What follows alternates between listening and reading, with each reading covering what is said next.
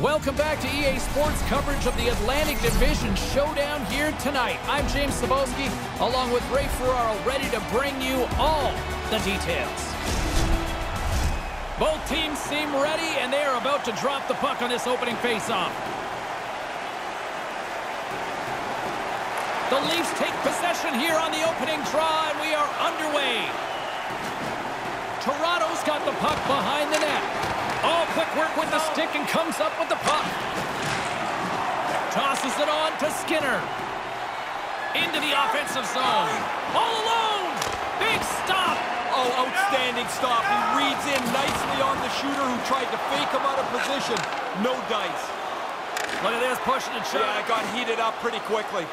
Riley's ready to go. Apparently, the other guy doesn't want anything to do with him. Taken by Martin.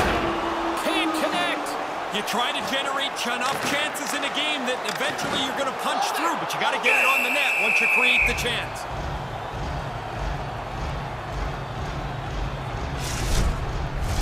James Cybulski, Ray Ferraro with you here in the early going of this period. The game is still scoreless.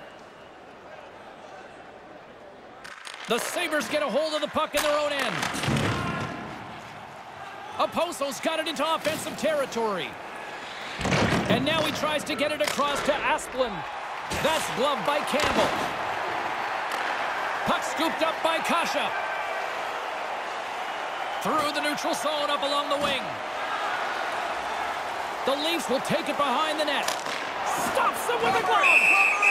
Anderson's on top of the puck, and that'll stop the play. Pretty conservative play here, James, as he covers it up to kill the play.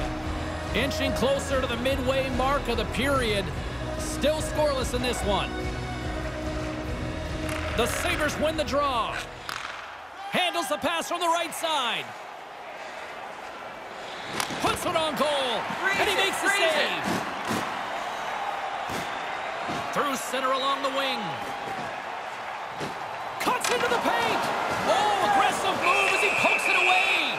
Hey, that means the play's supposed to end here. They're still pushing around pretty good.